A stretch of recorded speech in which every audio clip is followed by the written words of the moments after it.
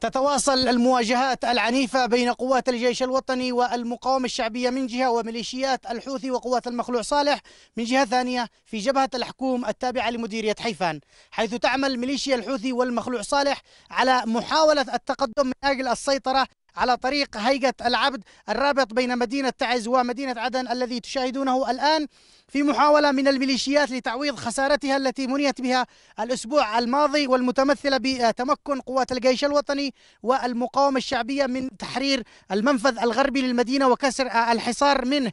الآن تتواجد ميليشيا الحوثي والمخلوع صالح في منطقة الأكبوش التابعة لمديرية التابعة لمنطقة الحكوم من هذه المنطقة التي تشاهدونها الآن تعمل الميليشيات على قصف طريق هيئة العبد لمحاولة لمحاولة السيطرة على هذا الخط المهم للمدينة. قوات الجيش الوطني والمقاومة الشعبية تتواجد في هذه التباب والمرتفعات التي تشاهدونها الآن ويعملون لمنع الميليشيات من إحراز أي تقدم في هذه المنطقة وكذلك العمل على تحرير عزلة الحكوم من أجل تأمين طريق هيئة العبد الذي يربط بمدينة عدن كما أسلفنا.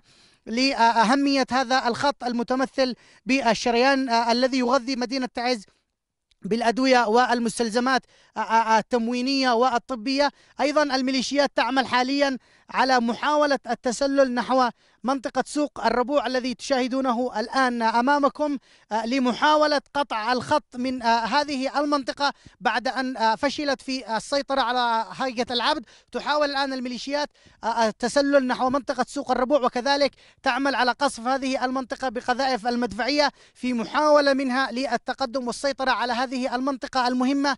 فواز الحمادي قناة بلقيس تعز.